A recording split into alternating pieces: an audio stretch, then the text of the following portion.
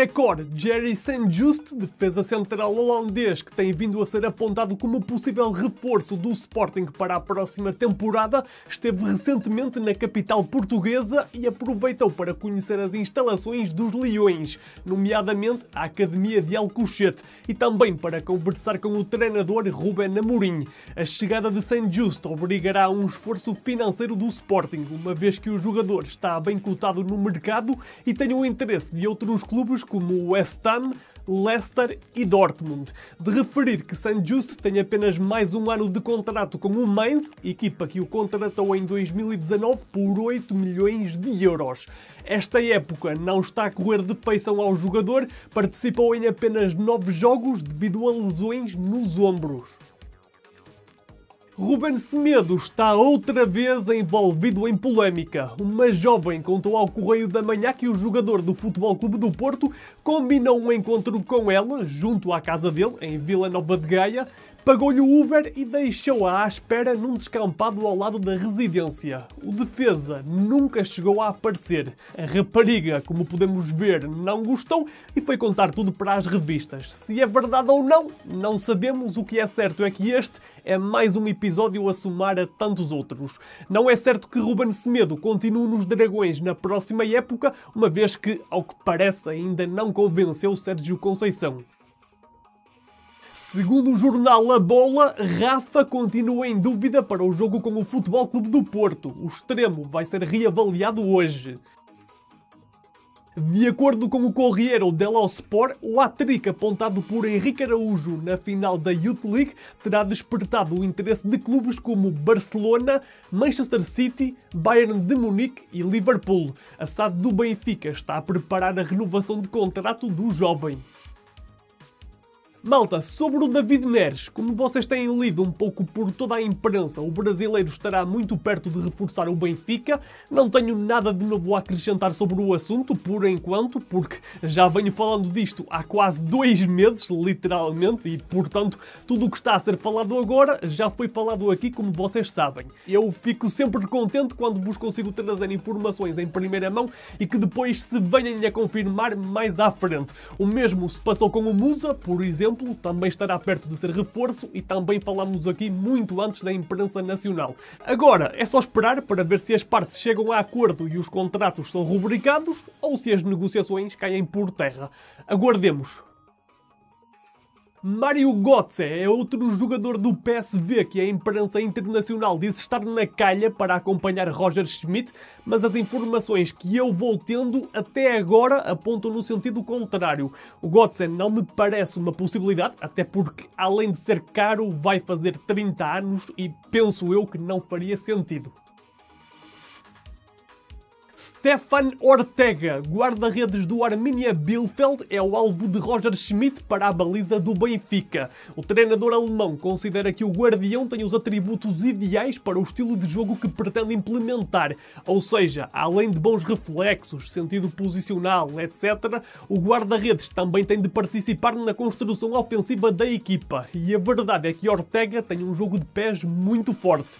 De referir que o contrato de Ortega com o Arminia Bielefeld termina termina no final da época. E eu quero dizer que, ao contrário do Gotze, o Ortega foi um dos nomes referidos por aquela malta que sabe algumas coisas, então sim. O interesse é real. Só que o jornal O Jogo diz hoje que a SAD benfiquista chumbou este nome. Portanto, aguardemos por novos desenvolvimentos. Haverão outros nomes em cima da mesa, mas Stefan Ortega é sim um nome referenciado. Por fim, vou deixar então aqui a lista de alguns nomes referenciados e que podem estar ou não a ser trabalhados pela administração do Benfica juntamente com Roger Schmidt. Deixo isto aqui apenas para ficar registado, ok? Não sei até que ponto alguns deles sejam verdade ou não. Ristich, lateral esquerdo do Montpellier, Skiri, médio defensivo do Colónia, Ricardo Horta e Musrati, do Braga, Di Maria, do PSG, Nicolas Stark, central do Hertha de Berlim, Trincão, do Barcelona, Checa, do Lille, Sangare e Madueke, do PSV.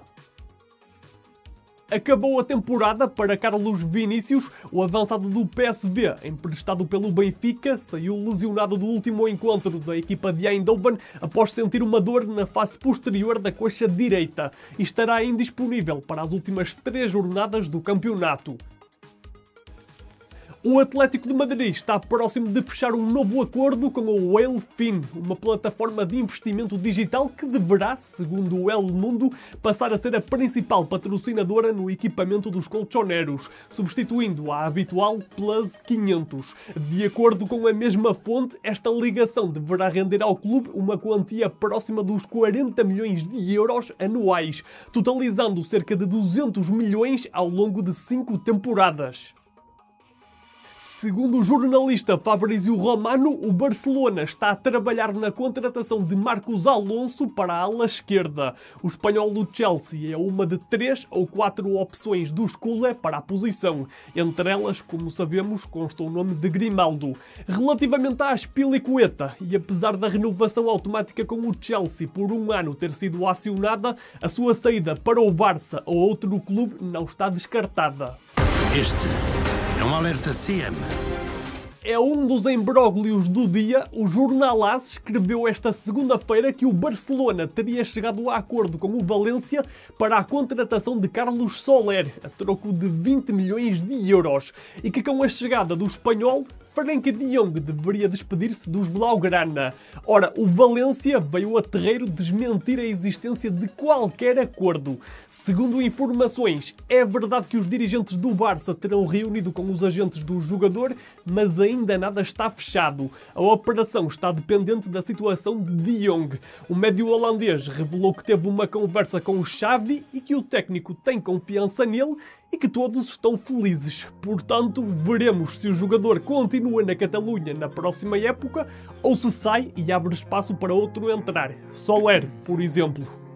Ice in my veins, I've been driving this train Years in this lane, there's no stopping this flame Cause I came to the game and I changed it to play How I like, rearranged it to my own domain. Yeah, I got what it takes, made lots of mistakes Taking shots, skipping breaks, feeling lost, feeling great Popping off, singing straight, never stopped, never changed. All the squad here to play and I've got something to say, yeah.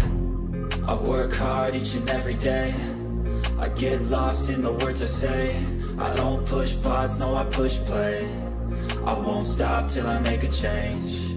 I withdraw on the things I make. I turn flaws into flawless traits. I build tall, never capped in space. I won't stop till I hear him say